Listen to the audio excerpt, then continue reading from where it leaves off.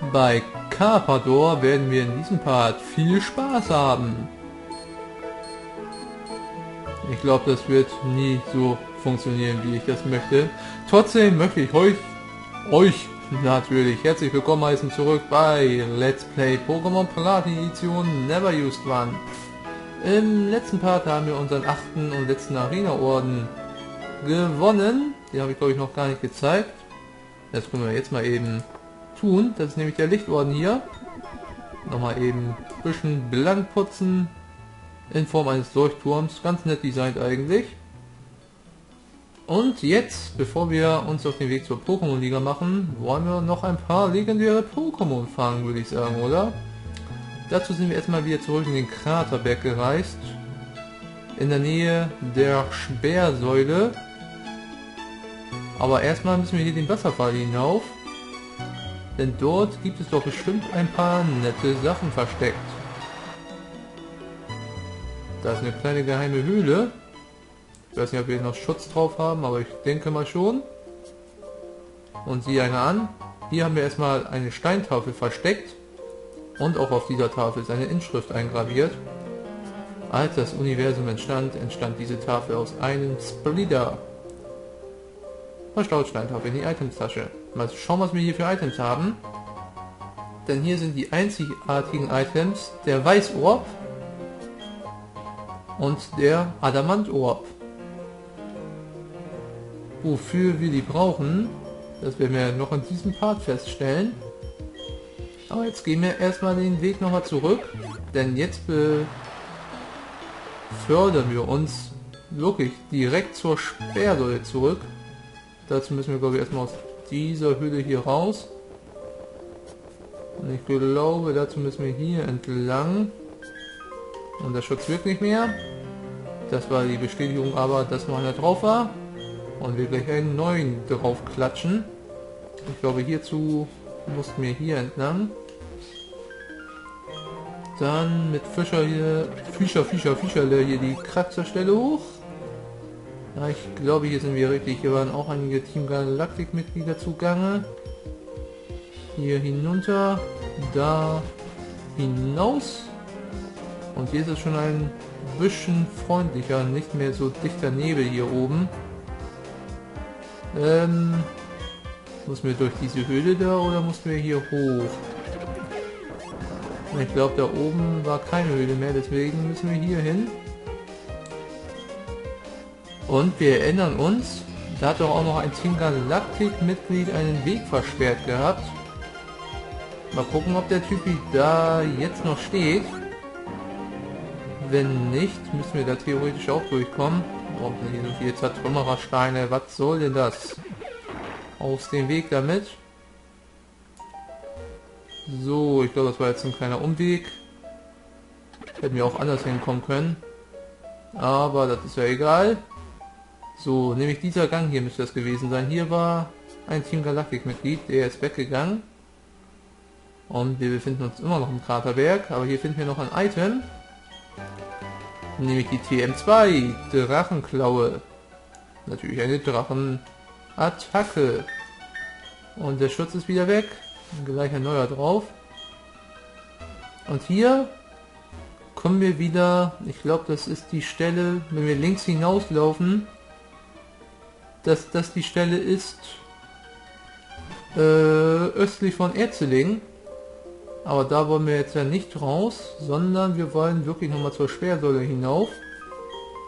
Auch wenn ich mir den Weg nicht merken konnte und ich wahrscheinlich jetzt ein bisschen herumirren werde. Äh, hier konnten wir nicht entlang. Ja, der Killer und sein Orientierungssinn. Das sind zwei Sachen, die nicht unbedingt immer gut zusammenpassen. Mann, ist das hier ein langer Gang. Ich will doch nur wieder raus. Und da ist wieder der Ausgang, von dem wir gekommen sind. Dann muss es da wohl westlich doch noch ein bisschen weitergehen. Wenn es so weitergeht, habe ich mir bald keine Schutz... Schütze, Schütze... Keine Ahnung mehr. Und einmal hier links hoch.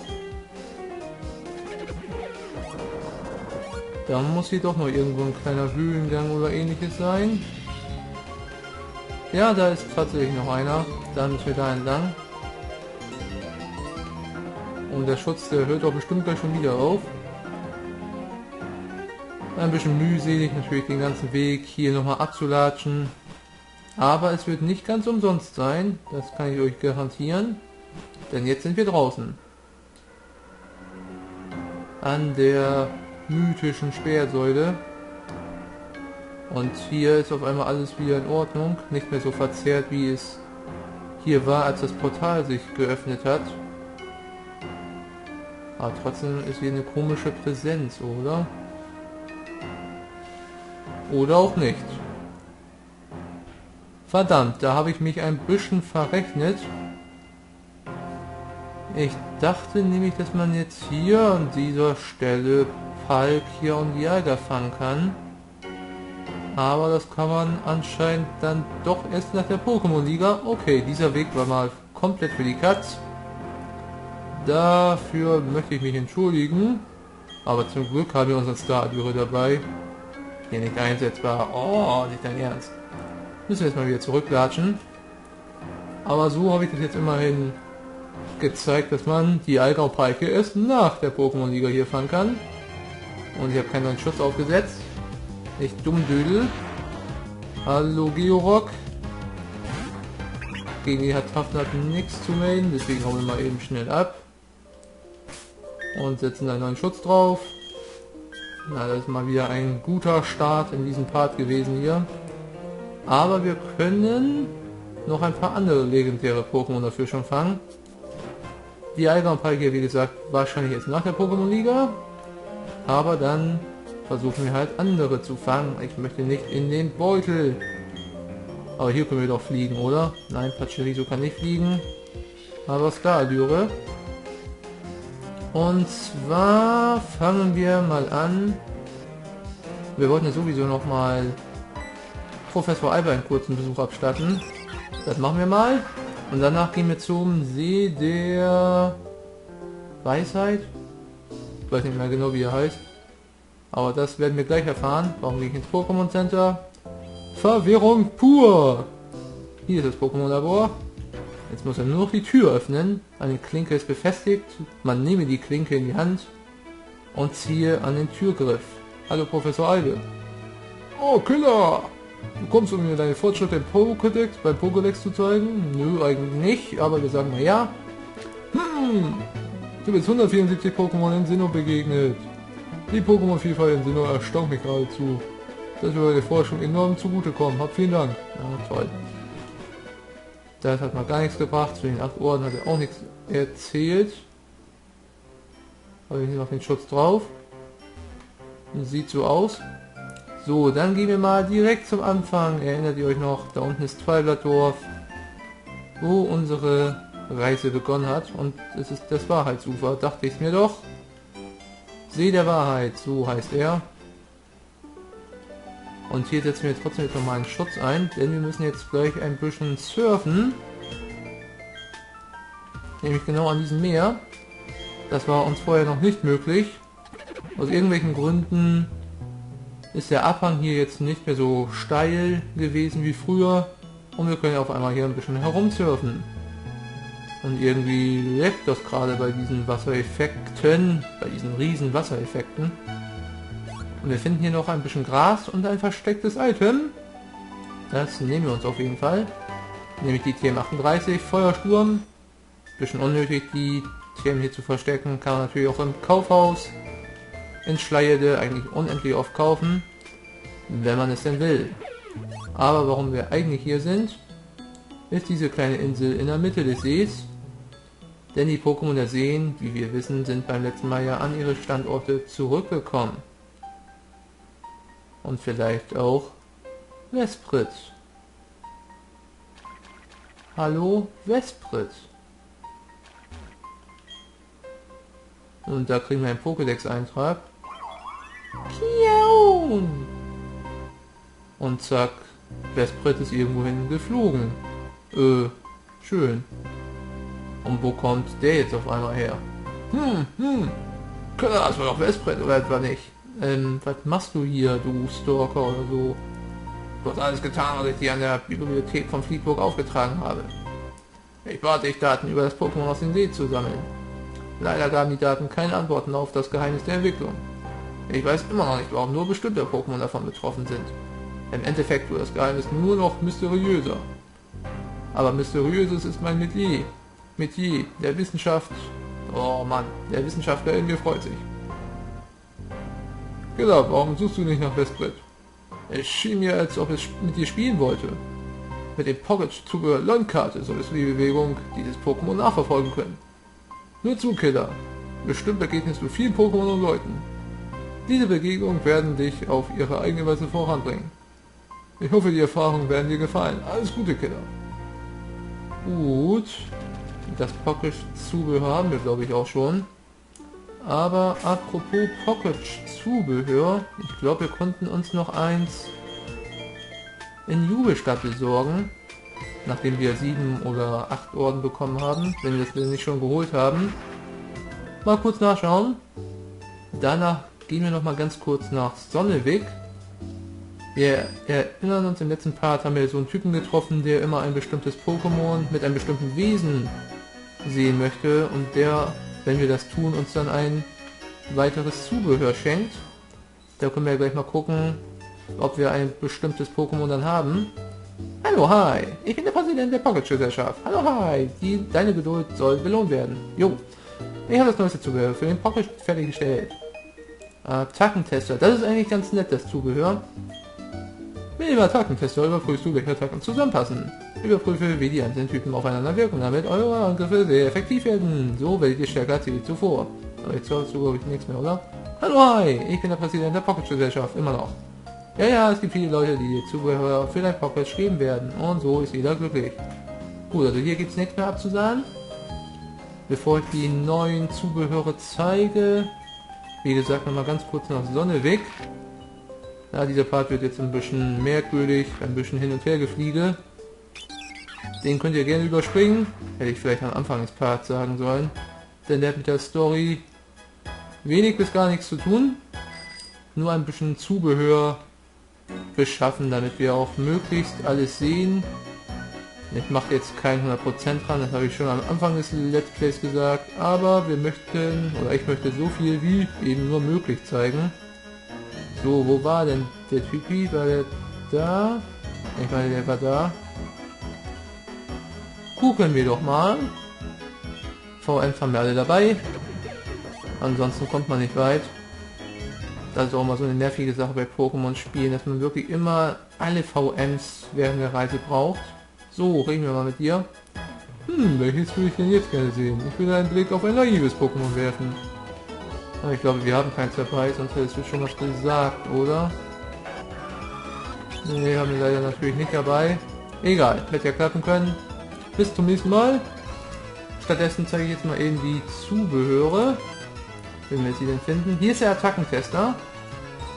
Hier können wir jetzt zum Beispiel uns anschauen, wenn ein Pokémon zum Beispiel die Typen Wasser und ja, ich glaube es gibt kein Wasser-Feuer-Pokémon, aber was für Attacken denn effektiv werden und so weiter. Wenn ein Normal-Pokémon bzw. eine Normalattacke ein Feuer-Wasser-Pokémon treffen würde, hat normale Wirksamkeit.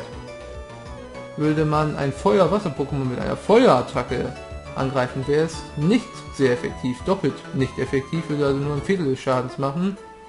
Wasser eine normale Wirksamkeit, weil sich, ja, Wasser ist ja effektiv auf Feuer, aber resistent gegen Wasser, macht es also wieder normal.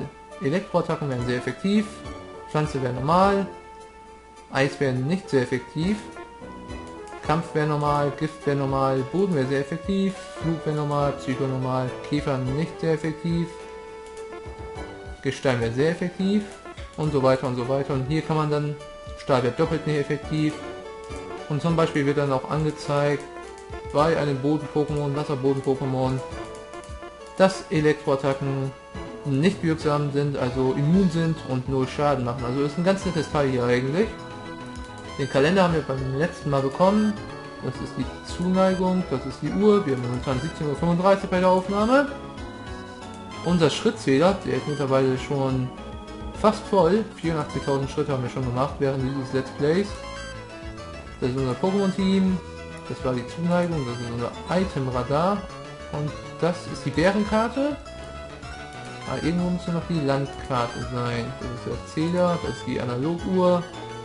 Genau, hier können wir irgendwelche Symbole hinklatschen, aber das ist eigentlich das Kartensymbol, wo uns angezeigt werden müsste, upsala, wo Vesprit sich momentan befindet. Gucken wir doch mal, ob wir es finden. Wir fliegen mal in irgendeine andere Stelle. Vielleicht wird uns dann verraten, wo es sich momentan aufhält. Fliegen wir relativ zentral nach Hetzhofen. Und schauen, ob Vesprit irgendwo auf der Karte erscheint. Normalerweise müsste es das eigentlich, oder? Genau, da. Dieses kleine schwarze Köpfchen hier zeigt an, dass sich Vesprit auf dieser Route befindet. Das Problem ist, jedes Mal, wenn wir selbst eine neue Route oder eine neue Stadt betreten, verändert sich dieser Standort von Vesprit. Nämlich immer um ein Feld daneben. Entweder reißt es jetzt nach links oder nach rechts auf eine Route, wobei es ist stehen geblieben auf dieser Route. Ungewöhnlich, normalerweise bewegt sich das dann immer um einen Schritt. Um eine Route nach links, rechts, nach oben oder nach unten. Je nachdem, wo sich das gerade befindet. So, jetzt wollen wir hier mal hoch und gucken, ob wir Vesprit fangen können. Seht ihr, jetzt haben wir eine neue Stadt betreten und Vesprit ist ein Feld nach links gewandert, also über die Route über uns. Das Problem, wenn wir jetzt die Route betreten, wird höchstwahrscheinlich auch wieder woanders sein. Nämlich jetzt ist es auf der Route unter uns. Und das Spiel können wir jetzt mal eine ganze Zeit lang spielen. So, vielleicht kommt es ja jetzt auf... Genau, jetzt ist es hier. Jetzt haben wir die Chance, Vesprit eventuell zu treffen. Aber ich meine, dass Vesprit ein Pokémon wäre, das immer flüchten würde. Das heißt, wir bräuchten eine Attacke wie Horrorblick oder ähnliches, damit es eben nicht flieht und wir überhaupt vernünftig gegen Vesprit kämpfen können. Und da dreht meine Katze gerade am Rad. Ach, gucken wir jetzt einfach erstmal, ob wir Vesprit hier antreffen. Ja, das hört man schon an der Musik. Level 50 ist das gute Vesprit. Wir können ja mal einen Angriff machen.